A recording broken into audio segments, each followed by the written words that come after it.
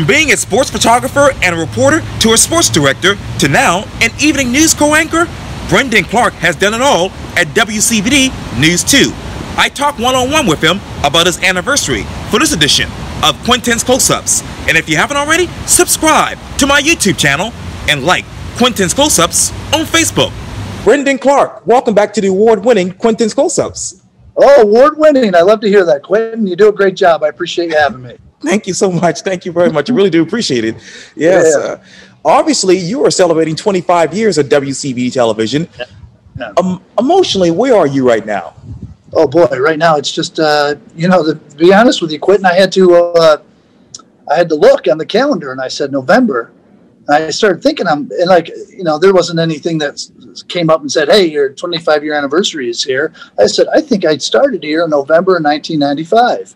And uh, so I look back at uh, my old contracts, and I've been through several of them while I've been here. And I said, sure enough, there it is. 25 years later, here we are. So it's uh, it's amazing to think that I've been here for 25 years. When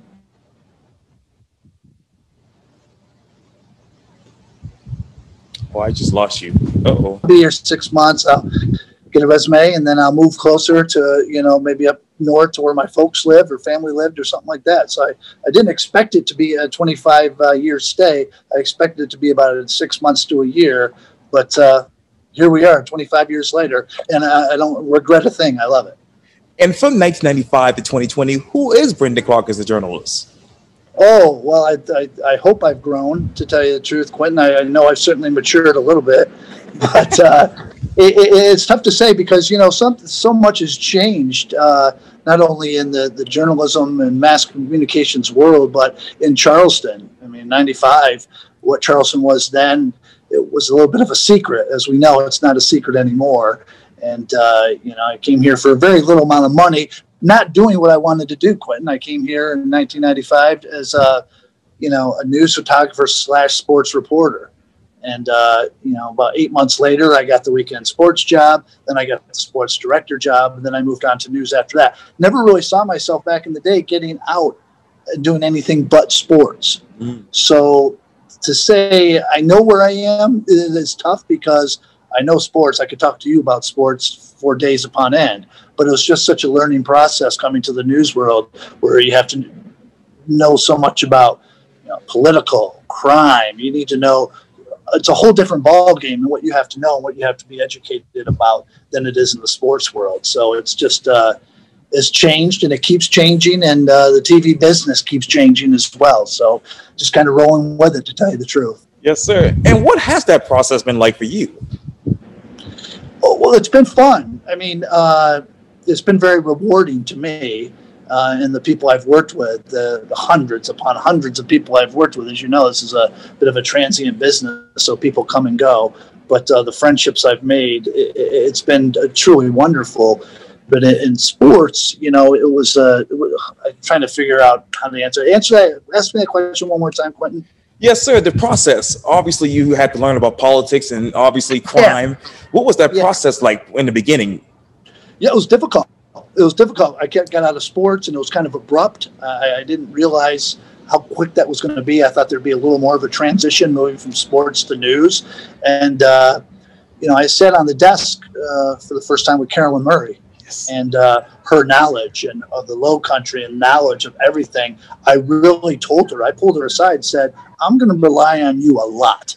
Uh, at the beginning of this, just because I, I, needed to, because she was so much up, more up to speed and knew the players, knew the people, right. knew the right. figures, and right. that I knew, but I didn't necessarily know enough about.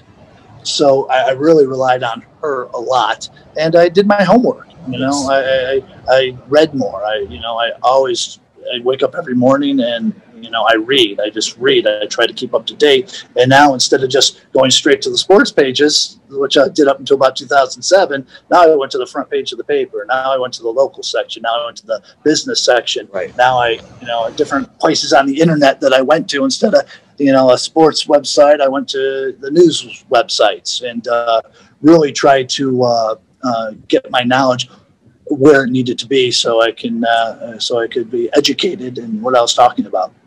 Let me talk to you about sports. What are you looking at these days on the pages? Because there's so much Coastal Carolina. You have USC. Uh, well, it, it's strange because I, I think uh, there were some sports that I thought I was a fan of back when I did sports, just because I covered them all the time. So I said, "Hey, I'm a big fan," and you know, not to knock on NASCAR, but you know, I covered NASCAR every week. I was up on the drivers, I was up on everything. But then when I got out of sports, I just quite frankly didn't follow it as much.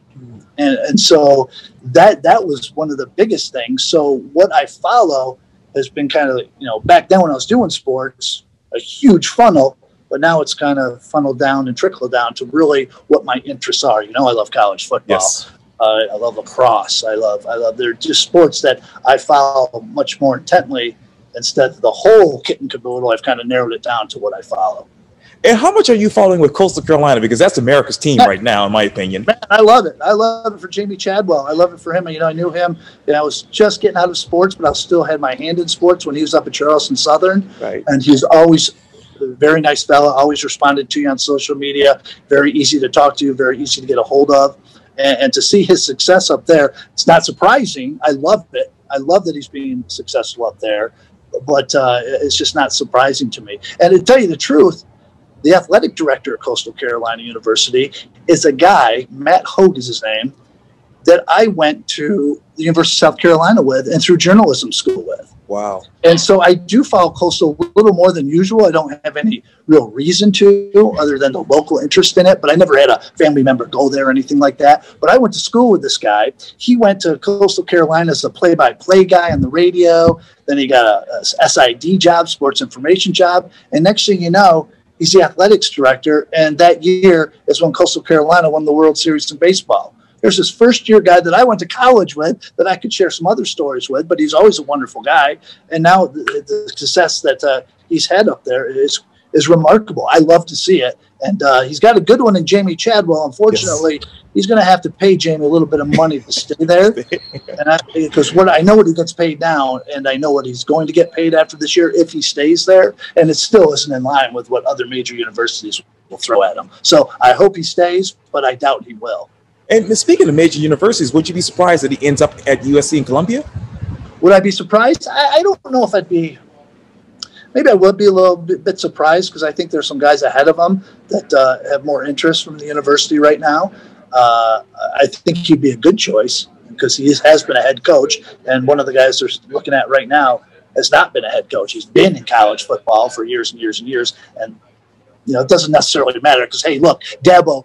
His first head coaching job was with Clemson, and look how he's done. So I'm not right. saying that rules you out just because you hadn't been a head coach before, but uh, for some reason, I think maybe things have cooled a little bit on Chadwell. It's not anything his fault, but I think they had their eyes on about two or three other guys right now. And do you think Wichita State will have their eyes on obviously Earl Grant? I saw him a couple days ago here downtown Charleston. Oh, did you really? Yeah, yes, I, I, don't know how Earl was. I'm surprised Stone hasn't snapped up Earl already. To tell you the truth, uh, he's a quality coach. Uh, right you know, College of Charleston, you can go so far, and we've seen that with John Kresse and the success he had with the, the program there.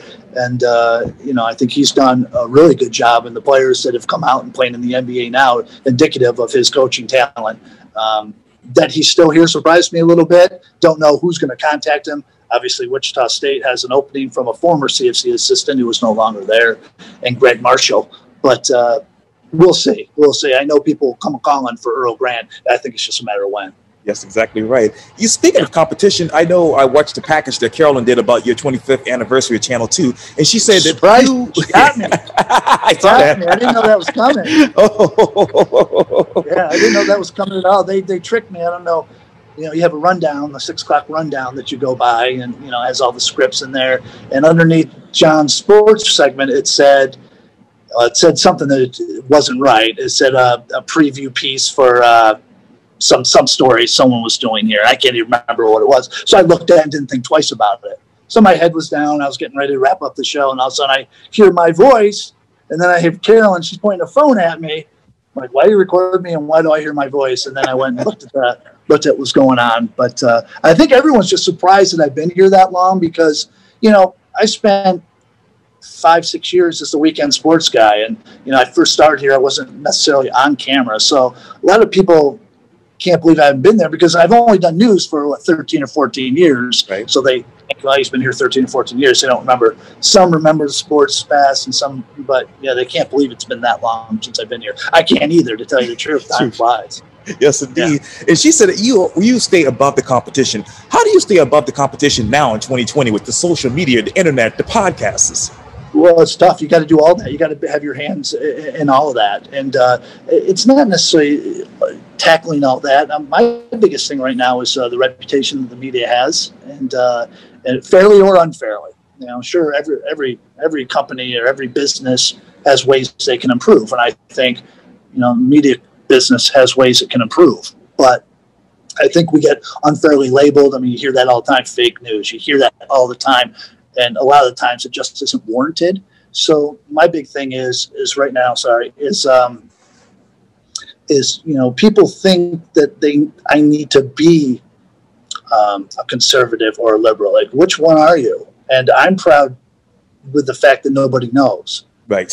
Because uh, you know it's not my job to throw right. out my opinion, Quintin. It's really my it's not my job to do that. My job is to give you that information and let you make a decision for yourself on what you are. So I'm not trying to sway anyone's opinion. I'm not trying to push you one way or the other. I'm trying to give you the information in an unbiased way and let you make an educated decision on the way you think things should be.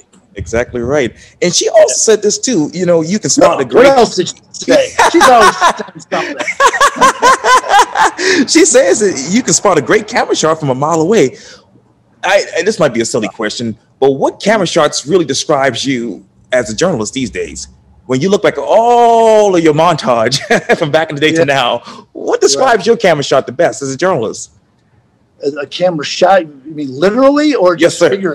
Oh, yes. Literally was tough because, well, that's my whole thing. I've, I've come from a photography background. Right. I went through school. I interned at a couple of stations in Columbia. When I got out of school, I always had a camera on my shoulder. Mm. So I always think visually instead of the words. And I always done that. I did that. I just recently did a story.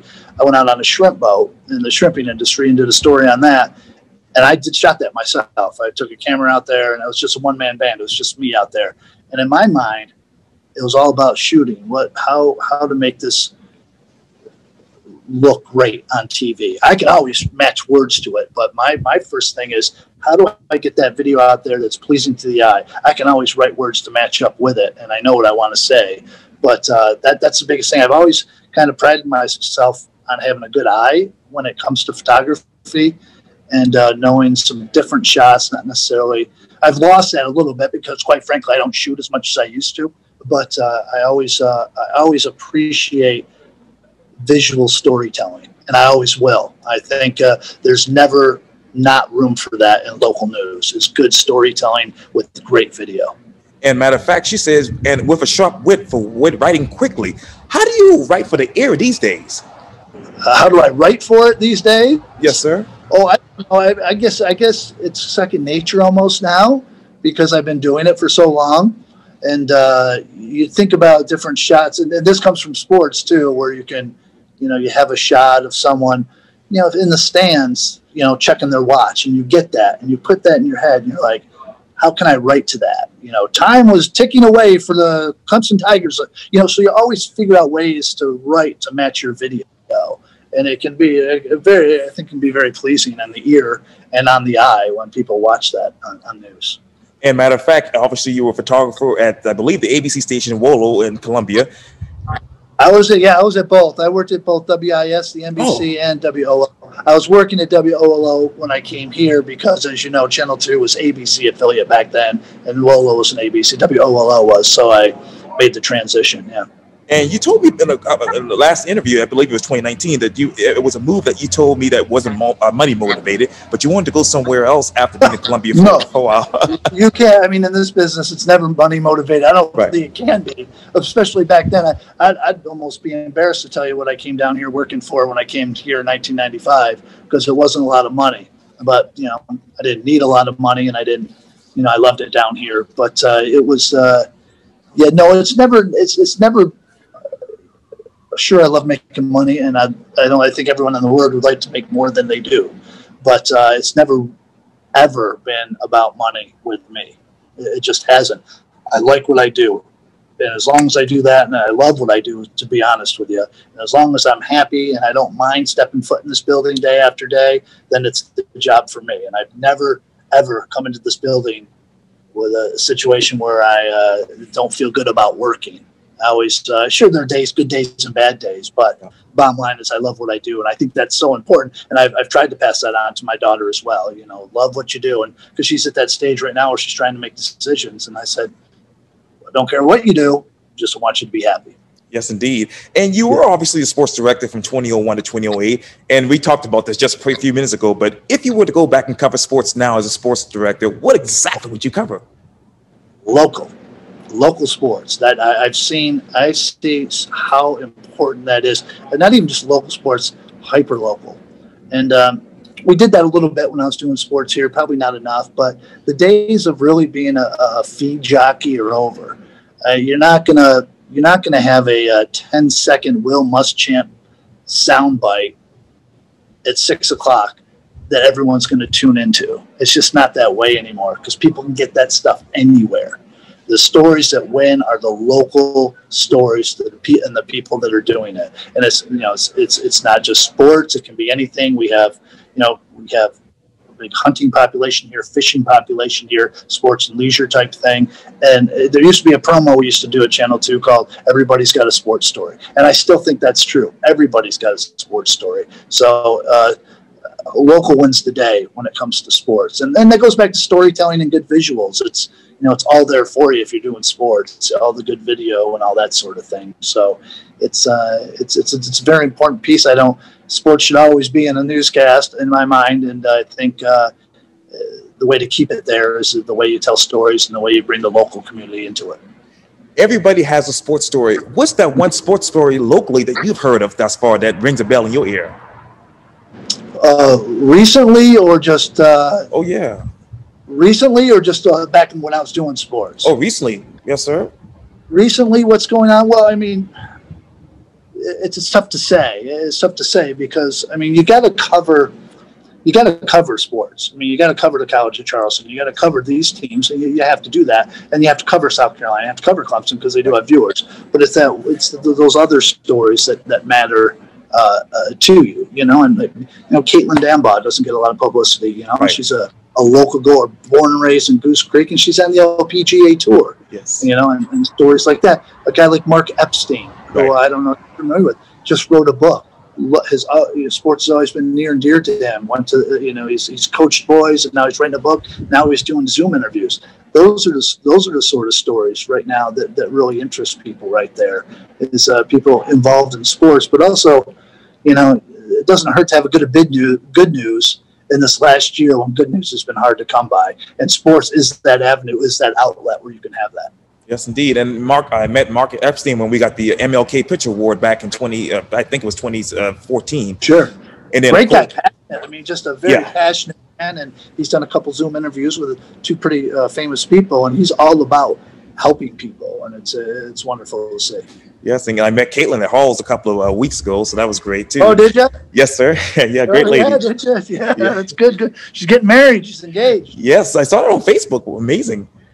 Yeah, yeah. good for her. Yes, so indeed. nothing but the best for her and her family. All wonderful people. Exactly right. And I know yeah. back in uh, 2008, obviously you became the evening co-anchor alongside legendary Carolyn Murray. You told me sure. uh, you were in the bubble and you had to get out of, the, out of your comfort zone and you wanted to grow. How have you grown in your 12 years as an evening co-anchor? Well, physically, I've gained a lot of weight. That's how I've grown. I've you got to come run with me. I've grown out and not up. uh, I don't know. I think it's um, a lot has to do with the, the people I've met and the, and the people I've talked to and the, the, the way I do stories now that I, I used to do. And, and I have to be honest with you, when I had a sports office, I was in my sports office all the time. Came out into the newsroom for the last 13 years. You talk with people, you have you know relationship people with people you work with that are different. Carolyn is one of them. You know, I didn't really, I worked with Carolyn, but I didn't really know Carolyn until I started working in news. And so that's been a, a great relationship that uh, I cherish, to tell you the truth. But um, yeah, it, it's changed the way uh, I've changed, and uh, maybe my I've probably matured a little bit, Quintin, to tell you the truth.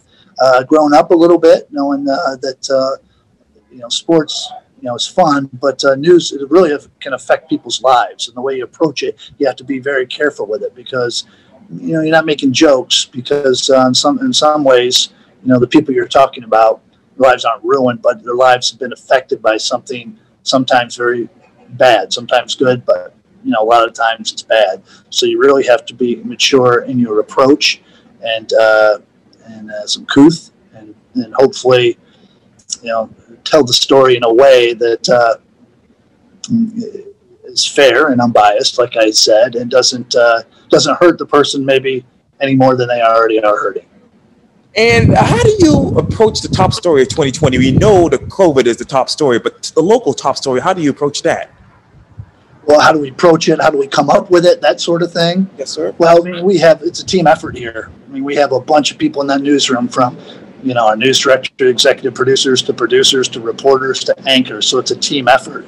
You know, we collaborate, we get together, we send emails to one another about certain stories. We all have, you know, we have beats you know, Sophia uh, Desasor, very good friend of mine. She is one of our investigative reporters. So if you come up with an investigative story, you kind of go to her and maybe talk to her a little bit about that, and you, you know, you, you bounce ideas and thoughts back and forth to each other, and that's kind of what the news business is.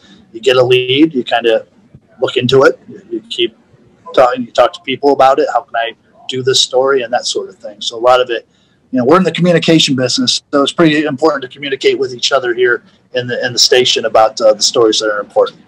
Uh, this might be a silly, another silly question, but how hard or easy has communication gotten so far in the journalism business? How hard is it got? Uh, uh I don't know if it's hard. I don't know if that's the word. I would say difficult, uh, different. Mm it's different. Technology has uh, has changed everything. I mean, look, you look back 25 years and how we uh, gathered news and told stories and got the stories out there, as opposed to now, and it is just uh, it's uh, 100% different. And uh, I'm not saying I'm left behind when it comes to technology a little bit, but these young kids coming in, they're on computers and screens their whole lives, so they're a lot quicker and smarter and uh, I go to them for advice all the time. How do I do this? How how'd you do that? And that, that sort of thing. And you learn slowly but surely. But uh, they're, uh, the way that we approach it now is just, uh, it's not just that news two at five or six o'clock or 11 o'clock where the story is. It's a 24 news cycle and it's, uh, you know, digital matters and social media matters and, uh, you know, and how you strategically place it and when you put it on there.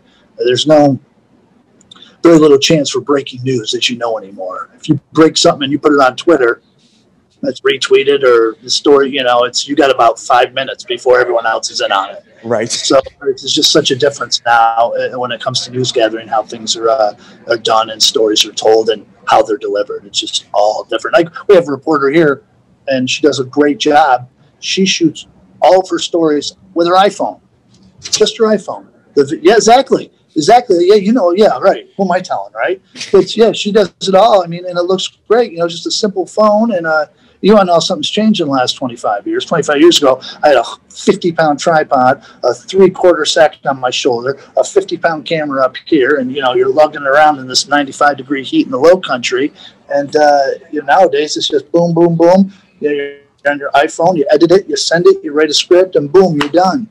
And so it's it, it's easier than that. It's not it's not easy to tell a story. It's always right. going to be when you have to write it and edit it and stuff like that, and what you shoot. But the means at which uh, the, the, the video and information is gathered, is uh, technology has helped out a lot. And how do you hope? How do you see a new gav- news gathering changing in the next five years? Who knows? I, that's that baffles me. I mean, there wasn't a day. I mean, this isn't a, a knock on the newspapers. They just aren't, you know, read as much as they used to. We know the struggles they're facing, but there was a day in my life where I never in my life thought I wouldn't wake up in the morning and have to read the newspaper. That's just my thing. I, I would wake up every morning and I would just read that newspaper. It was just, I loved it. And it was something I like to do. And, and quite frankly, I don't do it as much anymore because there's so, there's just a different way to get all that information. There's just, uh, it's just out there. It's, what you said, you held up your phone. It's, it's right there. So uh, that's the, that's the big difference. So I, I can't because I don't know. Sometimes I look at how we got where we've gotten in the last 25 years, and I'm amazed, and I, I don't know how we've gotten here. So to say in five years, who knows? Who, who knows? I, but like I said, there always be a market for good storytelling. There will never not be that need for good storytelling. You're absolutely right. And this uh, another silly question, Brendan, but what is that young reporter right now over at Channel 2 that really resembles you as a journalist right now? Well, it's tough to say. It's tough to say. I mean, I you know, I I look back, I look back at my time there and I uh, you know, I uh, I think I worked hard. You know, you look back, you know, all these, you know, I hate say whippersnappers or anything like that. they don't know how hard we worked back then because they work hard. It's just a different way of working now. Yes. So you can't say you work harder than people do now because it's just different. Right. But uh, they, um, we got a great crop here at Channel Two right now. These kids are coming out, and they're not. You know, you hear about the Generation X and all that, and they're not. They're not like that. They they uh, they have a dedication to the business and to the to the to the to what they do, and uh, they like what they do, and they have a passion for it. They have a respect for it, and they want to do the best they can. And sometimes people come through here that, that don't have that. So I credit the people who hire these, you know, these employees because they've done a good job in, in hiring them, and, and, their work ethic is something that you can tell they were brought up. You know, they were brought up to work the way they are and have the values that they do, and it's wonderful to see. I love to see it in our young people. You talk about values. I can't believe I'm saying young people. I can't believe I'm saying that. It's like I'm 90 years old. Clinton, make me feel old. you don't look at a day old. You look yeah, right. Yeah, day over 49. yeah, there you go. and you talk about values. I know that when it comes to your future, you told me in the last Quintin's Close Up interview that you want to stay here because you don't you're not looking to leave Charleston, but you also wanted the station to thrive. What is the station's philosophy for thriving these days? Well, it's the it's uh, the philosophy we have where uh, you know it's um, it's not necessarily uh, it's a good question. It's a good question because um, I think I think you have to cover the news in a way. It's a good question. It's, it's a good question because I think we're on a we're, we're, we're doing something right now, Quintin, here where we just get it. You know, the people here just get it and they, they know what they have to do, and you keep telling the stories. We we've got reporters following up on leads and things like that. So I'm not saying we're a, a smooth running machine, a well-oiled machine, but there really isn't any worries right now that uh, we're we're not getting the job done. We have the people here that can tell a good story and, and can do the job and know the importance of uh, and know the importance of TV news and the importance of the, the have the, the impact it can have on the people that are watching it. So. Uh, you know, as far as uh, you'd have to talk to the managers about uh, that kind of thing, how they approach it. But uh, they, I think uh, right now we are certainly uh, we're certainly doing all right and doing everything we need to do to be successful. That is amazing. Well, Brendan Clark, thank you yeah. so much for your time. And again, welcome back to the award winning Quintin's Close Ups. Well, Quintin, I can't say I'll be here for 50, but uh, you know, God willing, I will be. And we'll see. We can do an interview then. Yes, sir. and I'll be like 50 by then. yeah, that's right. Yeah. I'll be a little older. Yeah. yes, sir. Uh, well, thanks. I, I, certainly appreciate it. It's nice to be recognized for uh, being here this long, and I certainly appreciate the community having me this long, and I'll stay as long as they want. How's yes, that? Sir. Yeah, that sounds good to me. All right, buddy. Take care.